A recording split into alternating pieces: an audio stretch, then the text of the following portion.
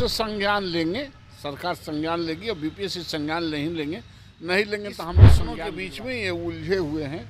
Minimum qualification दुनिया में तय होते हैं। मैक्सिमम क्वालिफिकेशन सरकार ने जो उन लोगों को ट्रेनिंग कराया और किस आधार पर किस मापदंड पर कराया घोषणा किया न्यायालय का मामला है। मौसी के मोच हो जाता तो पुतली बाई हो जाती। नमस्कार, मैं मनीष और आप देख रहे हैं मीडिया दर्शन। हमारे साथ मौजूद हैं भाजपा के एमएलसी नवल किशोर यादव जी। नवल किशोर जी एनआईओएस से जो अभ्यर्थी डीएलईडी किए हुए थे, उन्हें सुप्रीम कोर्ट अमान्य घोषित कर दिया गया है। लगातार अभ्यर्थी ये मांग कर रहे हैं कि गजट में शामिल अगर केंद्र सरकार कर देती है तो हम लोग फिर रोज़गार के लायक हो पाएँगे, हम लोग शिक्षक का फॉर्म भर सकेंगे। देखिए, ऐसा है कि ये न्यायालय का मामला है। मौसी के मोच हो जाता तो पुतली बाई हो जाती। मैं बार बार कहता हूँ, इन प्रश्नों का जवाब मैं नहीं देता हूँ। ये जो मामले सामने आए हैं, उसको विचार करने की ज़रूरत है और बिहार सरकार ने जो उन लोगों को ट्रेनिंग कराया और किस आधार पर, किस मापदंड पर कराया, घोषणा किया ये ज़्यादा जानकारी है और दुनिया का पूरा संविधान बदल जाता तो आदमी का कर्तव्य बदल जाता। इस मुद्दे पर मैं कोई चर्चा नहीं करता हूँ।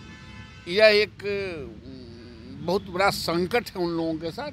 उस संकट पर विचार होना चाहिए। बाईस हज़ार अभ्यर्थी को पटना हाईकोर्ट ने अयोग्य घोषित कर दिया है जबकि ये आयोग घोषित नहीं किया है। वो मिनिमम डिग्री क्वालिफिकेशन और मैक्सिमम डिग्री क्वालिफिकेशन पर की बात है। वो डीएलएड खोजते हैं उससे बड़ा डिग्री मिल गया है बीएड तो ये कहते हैं बीएड को नहीं रखेंगे डीएलएड को रखेंगे।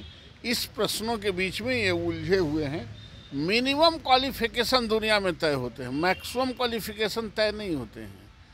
तो जो डीएलएड का के बात कहने वाले हैं मान लेते हैं आपकी नौकरी कहीं मैट्रिक पास पर होना है और आप एमए किए हुए हैं तो गड़गड़ हो जाएगा जा वाला के अब बढ़िया ना है। बिल्कुल।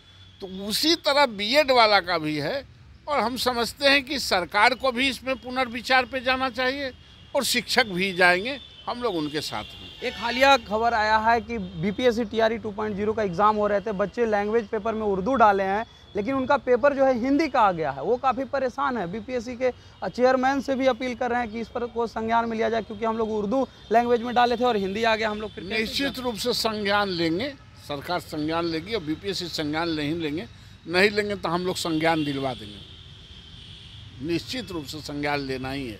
वैसे अभ्यर्थी को क्या कहिएगा जो अब बाहर होने के कागार पे हैं बाईस हज़ार शिक्षक? नहीं नहीं कोई बाहर नहीं होंगे जब तक हम लोग हैं बाहर कोई नहीं क्या कीजिएगा बीजेपी की? अरे उसकी लड़ाई लड़ेंगे उसकी लड़ाई हम ही लोग लड़ते हैं कि और कौन लड़ता है?